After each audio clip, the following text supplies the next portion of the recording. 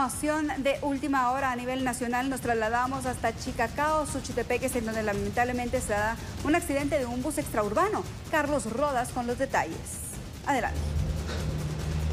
En el kilómetro 142.5, en la entrada de la ruta al Pacífico, jurisdicción del municipio de Chicacao, Suchitepeques, antes de llegar a la entrada en Agualate, una camioneta de la línea Esmeralda venía a excesiva velocidad al impacto quedó volcado en la ruta. Aproximadamente más de 24 pasajeros que iban a bordo resultaron 19 gravemente heridos. Varios elementos de bomberos voluntarios y municipales y la brigada de socorro fueron alertados que llegando al lugar era afirmativo. En el lugar le dieron atención hospitalaria entre niños y personas adultas. En ese momento lo llevaron a, diferentes centros asistenciales. En el lugar quedaron el resto de los pasajeros que no quisieron ser trasladados a ningún centro asistencial.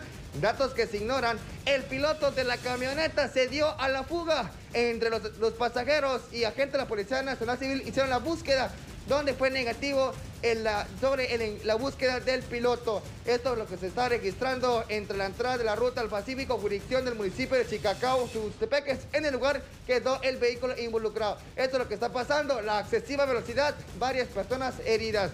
Desde kilómetro 142 de la ruta al Pacífico reportó para ustedes Carlos Rodas.